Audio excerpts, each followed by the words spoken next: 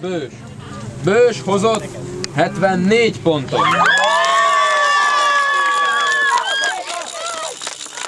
Másodszor ütött Kürt. Kürt hozott 31 pontot.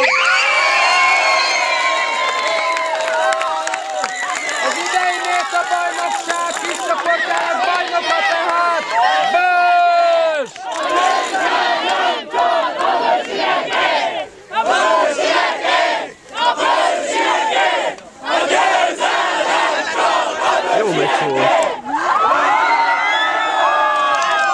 Nagy tapsot még egyszer mindenkinek!